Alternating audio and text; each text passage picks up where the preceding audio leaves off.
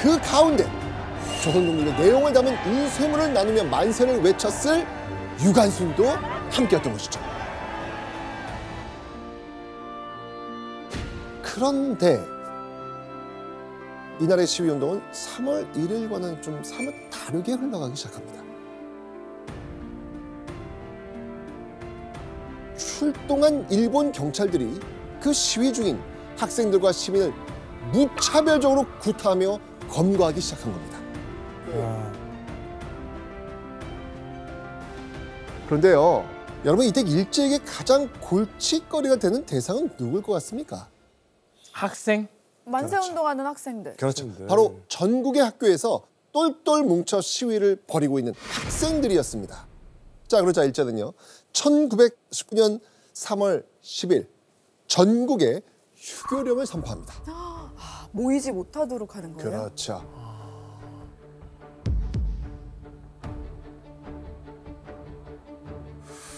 학교가 문을 닫게 되니까 유관수는 결국 기숙사를 나와가지고 어디로 갈 수밖에 없다? 천안 가야죠. 그렇죠. 고향으로 갈 수밖에 없었죠.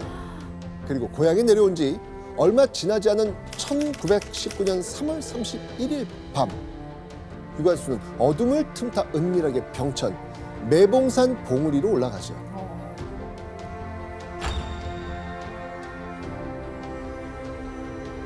산 정상에 오른 유관수는요 준비해온 횃불에 불을 붙입니다. 그리고 타오르는 횃불을 높이 지켜들었죠. 그런데 바로 그 순간 다른 마을의 산에서도 하나 둘 횃불이 치솟기 시작합니다. 오, 대체 무슨 일이 벌어진 걸까요? 맞춤. 그러니까 신호 보낸 거 아니에요 서로?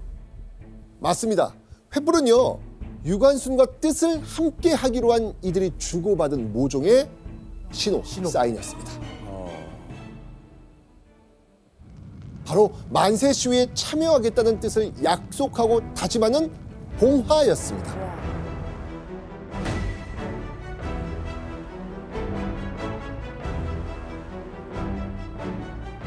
유관순이 천안 병천면에서 또 한 번의 만세 운동을 앞두게 된 겁니다. 자, 그런데 유관순은 어떻게 한 달도 채 안 되는 시간 동안 시위 계획을 세우고 행동에 나설 수 있었을까요? 자, 유관순이 고향으로 돌아오자마자 만난 협력자 바로 아버지? 아버지, 아버지가 아버지구나. 도왔어요? 아버지 유중권 덕분이었습니다. 아까 아버지 어, 뭐 하신 분이었어요? 그 학교를 세웠잖아요. 네, 근데 뭔가 그래도 저는 아버지는 그 교장 선생님의 입장일 거라고 생각했어요. 좀 자제하고 좀 참고 위험하니까 맞아, 맞아, 맞아. 아, 딸인데 어린 딸인데 딸이니까. 근데 아버지가 도와서 이렇게 하자고 하셨어요. 아버지 유중권은요 딸 유관순의 뜻을 적극적으로 지지해 줍니다. 유중권과 유관순은 그 아버지의 그 그 딸. 딸이었던 겁니다. 유관순은 아버지의 도움으로요. 마을 구석구석을 돌아다니면서 동네 어른들을 찾아가 만세 운동의 필요성에 대해 끊임없이 설득했습니다. 그러자 이 마을 유지들과 어른들은요. 목숨을 걸고 함께 만세를 외치자는 16살 소녀의 이야기를 흔쾌히 승낙합니다. 아, 얼마나 대견했겠어요. 그러니까 어린아이가 움직였네요 마을을. 그러니까요. 그 뒤로 유관수는요 가족이 사는 마을뿐 아니고요 병천면에 있는 여러 마을의 협조까지 얻어 구체적인 거사 계획을 세웁니다. 유관수는 설레는 마음으로 한 땀 한 땀 손수 태극기를 그려 나갔습니다.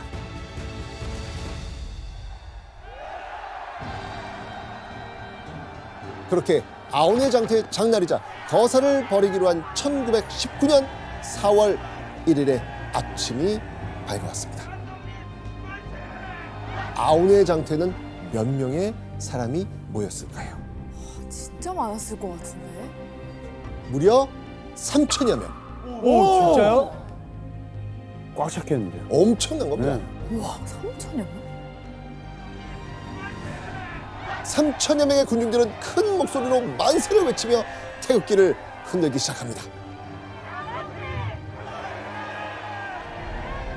그리고 지금의 파출소라고 볼 수 있는 주재소를 향해 나아가죠.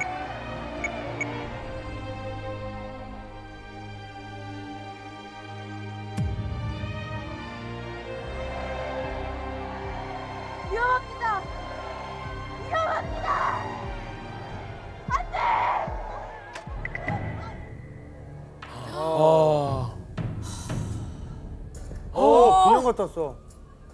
와. 진짜.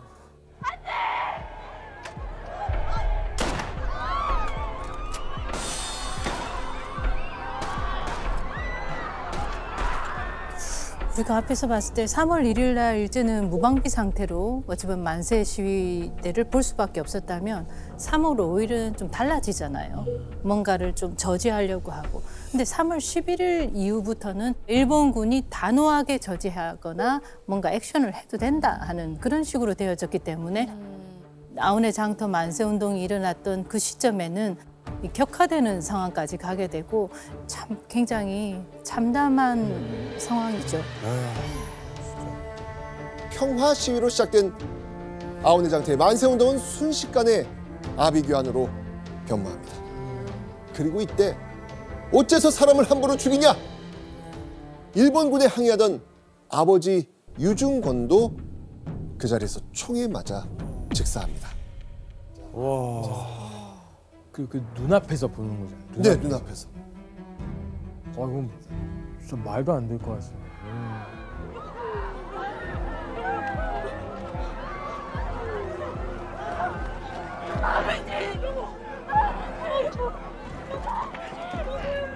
유중권은 딸인 유관순이 신식 교육을 받을 수 있게 한 열려있는 아버지이자 딸의 만세 운동을 적극적으로 지지해준 정신적 지주였습니다.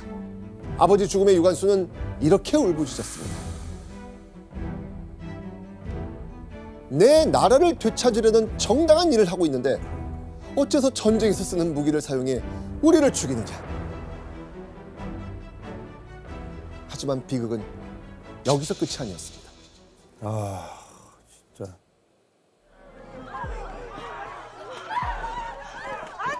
남편의 죽음에 격분한 유관순의 어머니가 일본 헌병에 달려들다가 그녀 역시 일본군에게 학살당합니다.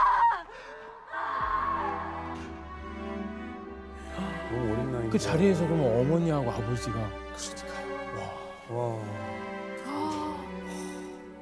원래 처음에 처음에는 이제 그 어, 더 어렸을 때 교회가 불탔거나 했을 때 그때는 어떻게 보면 아 지금 이런 상황이구나 그 반일의 어떤 뭐, 뭐 감정이 좀 작게 들어갔을 텐데 지금 같은 경우는 그 동안에과 비교할 수 없이 정말 극 극으로 달했을 것 같아요. 음.